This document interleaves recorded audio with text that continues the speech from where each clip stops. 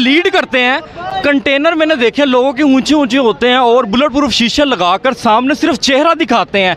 इतनी tough security होती है। आपको सर डर नहीं लगता कि बिल्कुल सामने आप बैठे हैं और आपके कारकुनान भी साथ हैं। आपकी जान तो कीमती है इन कारकुनान के लिए। मैंने कौम को लूटा नहीं है उन्होंने कौम को लूटा है। मैं कौम का गद्दार नहीं हूँ वो कौम के गद्दार हैं। मुझे अपनी कौम से क्या खौफ है? जिस दिन खौफ हुआ तो मैं यहाँ आऊँगा नहीं। आपके कंटेनर में एसी भी नहीं है सर। आपको गर्मी नहीं लग कुदरत ने चलाया हुआ है। बहुत शुक्रिया।